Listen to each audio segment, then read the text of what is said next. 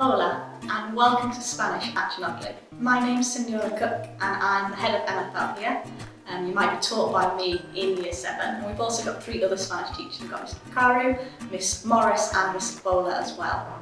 Spanish, the subject here, is all about learning how to communicate confidently and build that fluency so that you can communicate with people around the world.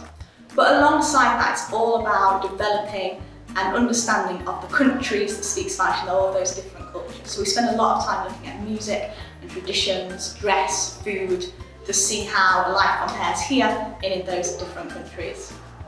So in year seven, we have four overarching themes. And within each of those themes, we've got some different topics that we look at. So at the start of the year, we start with all of the basics. So we learn how to pronounce Spanish accurately, our phonics, we learn all of the basics like numbers and how to introduce ourselves. Then after that, we move on to talking about free time, sports and hobbies, and we look at what we like to do and give an opinions, and we look at what children in other Spanish-speaking countries might do with their free time.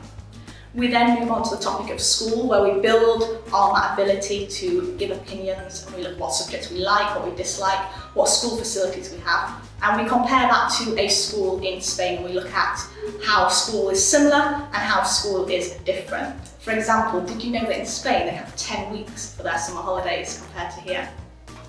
And then our final topic is the topic of where I live. So we look at Nottingham and what is here and be able to give those descriptions and directions if someone's coming to visit Nottingham. And we look at where we live in terms of our home. And again we compare that to other countries. So we look at what life might be like if we lived in Madrid or if we lived in Cuba for example.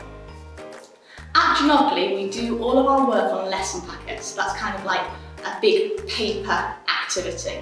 And that means that everything that you need is all in one place. So all the new words and all of the information is all there for you. And in our lessons we do lots of speaking activities and lots of games to get us to practice our speaking and to become confident in using our Spanish language. I am really looking forward to seeing you here. Hasta luego.